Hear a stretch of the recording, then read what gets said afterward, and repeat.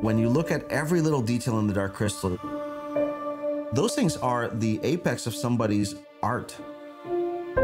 There's so few people that know how we did it the first time, and we're so old we don't remember how we did it.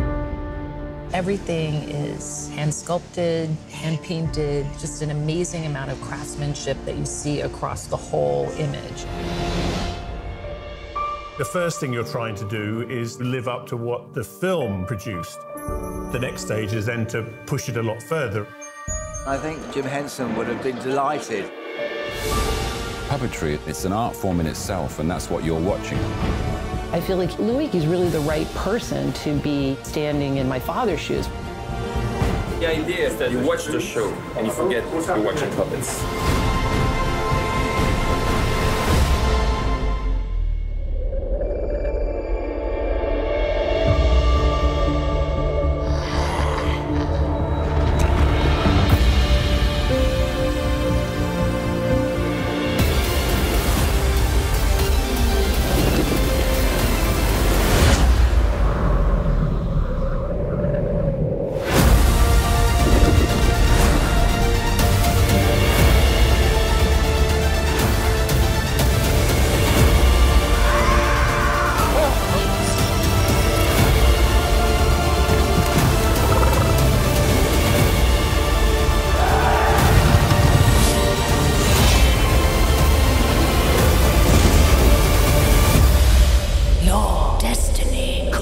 to you.